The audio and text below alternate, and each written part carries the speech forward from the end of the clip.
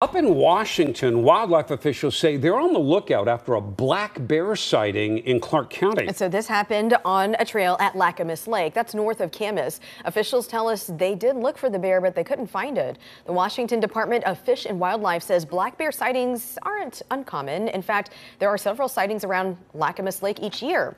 The bears typically travel between the Washougal River and the southern end of the lake. One witness tells KOIN 6 she did what she had to do to stay safe. And I was in a spot where I couldn't really keep walking yet safely. And so I was just quietly watching and I'm totally prepared, like if it had come toward me to do, you know, the get big, tell it to go, um, all the things that you're supposed to do. But since I was kind of in a safe spot, couldn't walk on yet, it was when I, from pretty far away at that point, was able to get a photo now, on the heels of this sighting, wildlife officials say that they are working with Clark County Public Works to place signs throughout this area.